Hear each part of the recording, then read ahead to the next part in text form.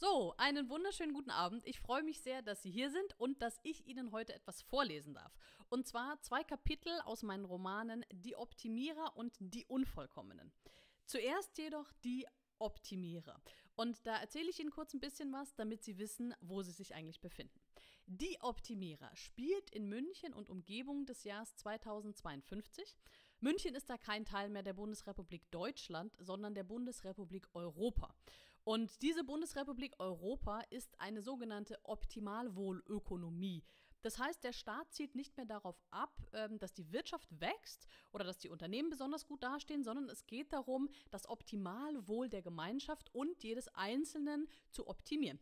Und wie funktioniert das Ganze? Das funktioniert so, dass der Staat alle seine Bürger komplett überwacht und dann eben guckt, welcher Platz für jeden Bürger der beste in der Gesellschaft ist. Und das funktioniert so, dass es sogenannte Lebensberater gibt, die die Leute zu Hause besuchen, die ganzen Daten analysieren, um dann jedem den für ihn besten Platz in der Gesellschaft zuzuweisen. Und nicht umsonst ist auch deshalb die neue Grußformel, die benutzt wird in der Bundesrepublik Europa, ähm, jeder an seinem Platz. Also das sagt man zur Begrüßung und zur Verabschiedung. Das ist quasi die Bestätigung dessen, dass jeder an seinem Platz ist. Und ich lese Ihnen jetzt das erste Kapitel, ein bisschen gekürzt, aus Die Optimierer vor. Wir lernen dort Samson Freitag kennen, der Protagonist des Romans, der Lebensberater ist und heute eine Beratung einer Kundin macht, nämlich von Martina Fischer. Und wie das Ganze funktioniert, sehen wir jetzt.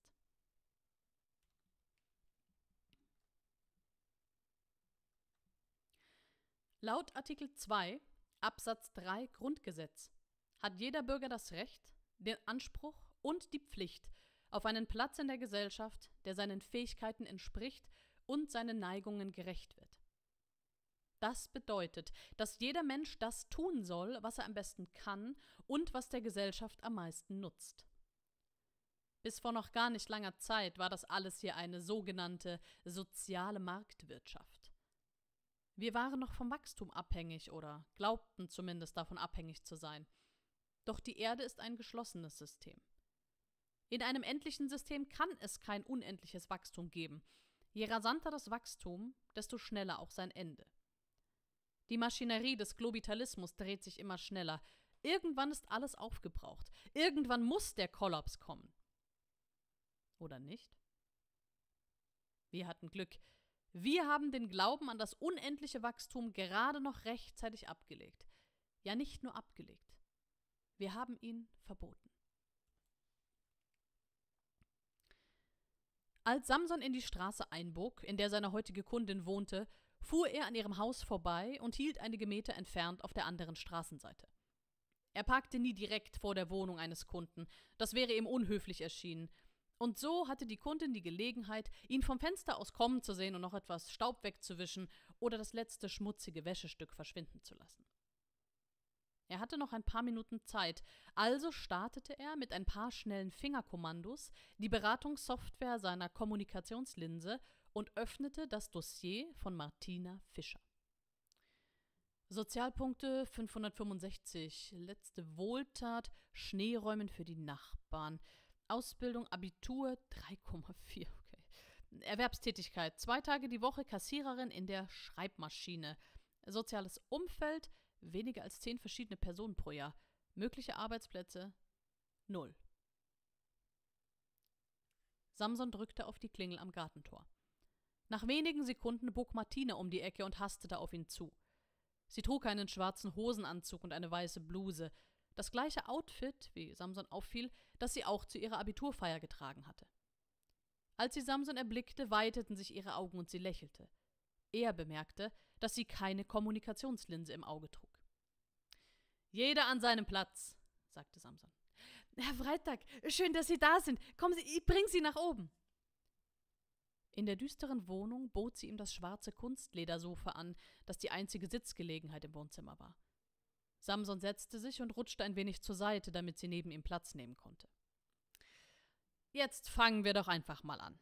Ich bin Samson Freitag und ich bin hier, weil Sie von Rechts wegen einen Anspruch auf Lebensberatung haben. Ja, ich weiß, ich habe eigentlich keinen Bock mehr rumzuhängen und der Job mit der Schreibmaschine macht mir auch keinen Spaß. Und, und ich habe gelesen, dass Sie genau das Richtige für mich finden würden. Was, was haben Sie denn für mich? Sie blickte ihn erwartungsvoll an. Die Lebensberatung ist eine Dienstleistung, die jedem Bürger und jeder Bürgerin zusteht. Und das zumindest beim ersten Mal kostenlos. Wenn Sie in die Beratung einwilligen, dann engagieren Sie mich verbindlich und verpflichten sich, mein Beratungsergebnis am Ende anzunehmen, wie auch immer es ausfallen sollte. Martina nickte langsam. Der Staat interessiert sich für seine Bürger. Er sorgt sich um ihr Wohl und analysiert alle Fakten, um jedem den für ihn besten Platz in der Gesellschaft zuzuweisen. Dieser Prozess ist sehr aufwendig. Am Ende meiner Beratung bestimme ich den optimalen Platz für Sie, einen Platz, der die Bedürfnisse unserer Gesellschaft und natürlich Sie selbst zufriedenstellen wird. Deide, wo muss ich unterschreiben? Äh, Moment, nicht so schnell. Sie haben sich die Vertragsbedingungen doch durchgelesen, oder? Ja, ja, das passt schon. Hauptsache, ich komme hier weg. Das kann ich Ihnen aber nicht versprechen. Am Ende könnte auch herauskommen, dass Sie die Arbeit in diesem Laden für Papier, in der ähm, Schreibmaschine, weiterhin machen müssen.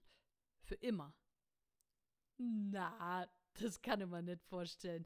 Also, jetzt, Herr Freitag, jetzt überspringen wir doch den ganzen bürokratischen Schmarren und lassen Sie mich unterschreiben, ja? Jeder an seinem Platz. Oder? Ja, das stimmt.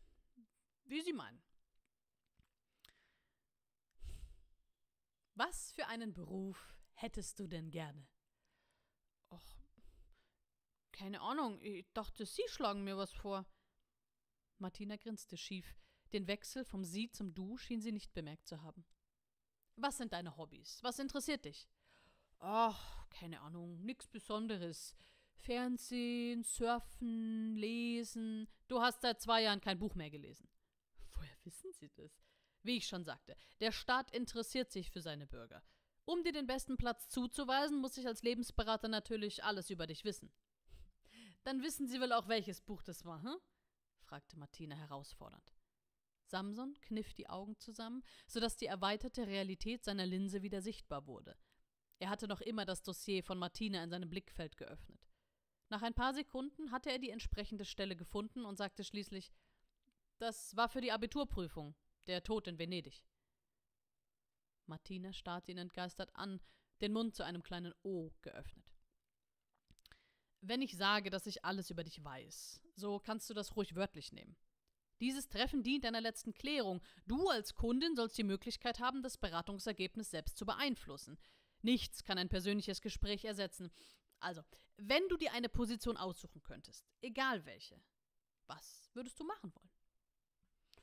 naja, Filmstar oder Sängerin oder sowas. Das wäre schon toll. Und jetzt was Realistisches.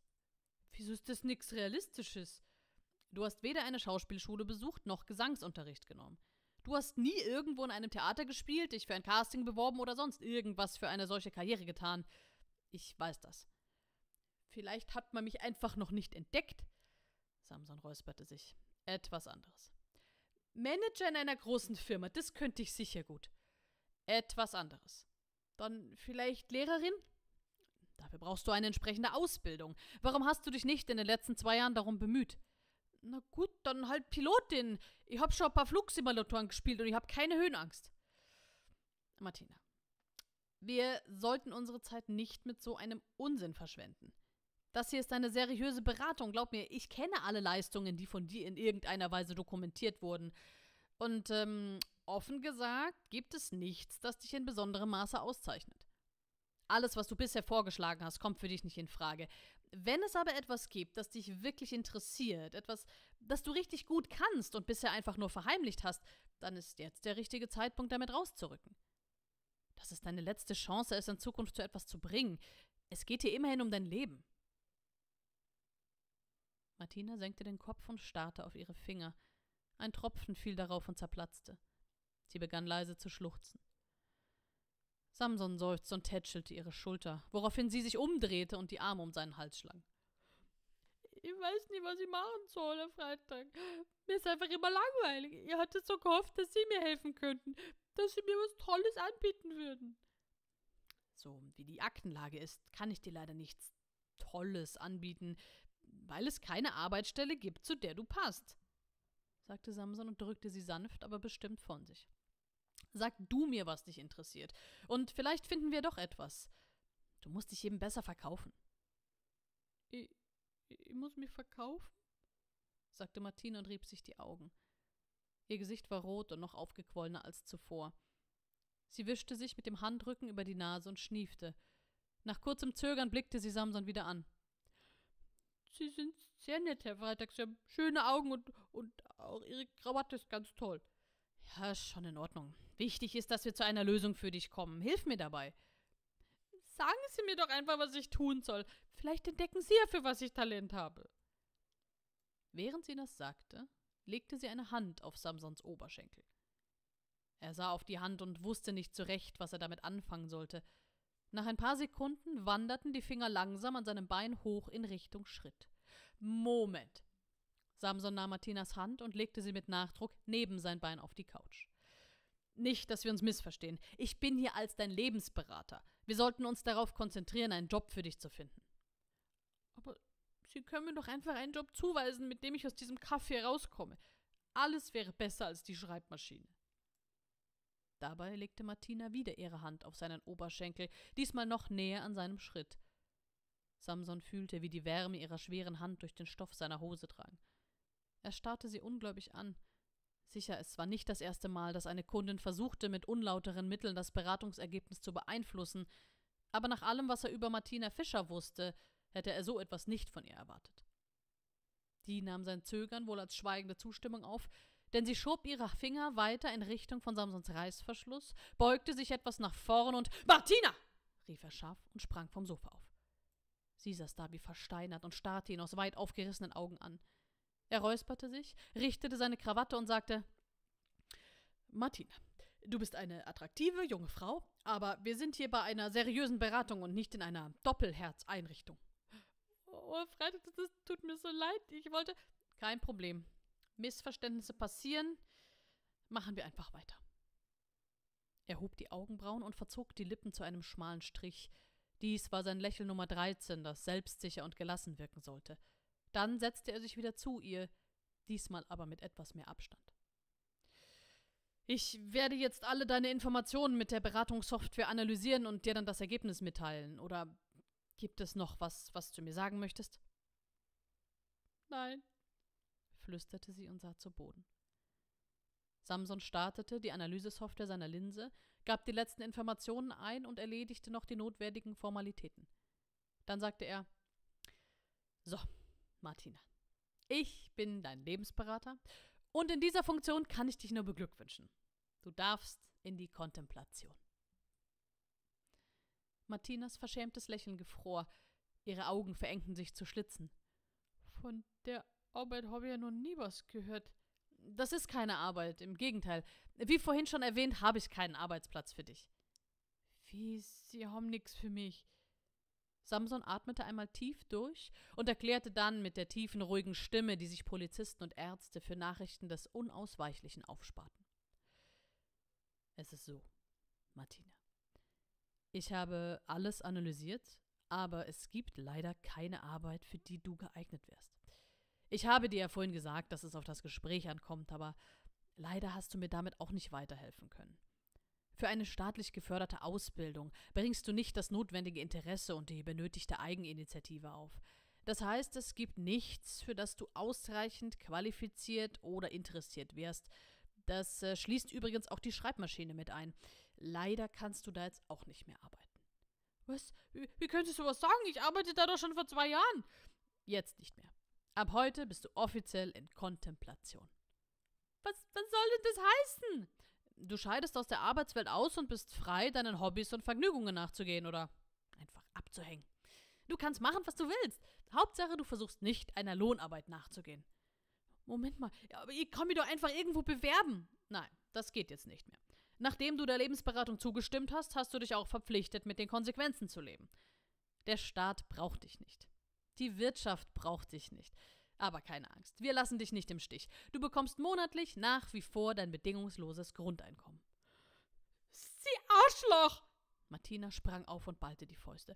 Warum haben Sie mich nicht vor irgendwie gewarnt? Ich werde mich bei der Agentur über Sie beschweren. Ich werde, ich werde denen sagen, dass Sie mich belogen haben, dass Sie mir falsche Hoffnung gemacht haben. Sonst hätte ich den Scheiß doch nie unterschrieben. So ein Unsinn.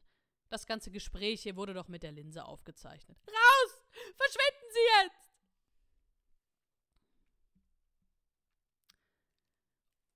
Und damit verlassen wir Martina und Samson. Und ja, wie es weitergeht, erfahren Sie, wenn Sie das Buch selber lesen, beziehungsweise gleich gibt es ja noch ein Kapitel aus Die Optimierer.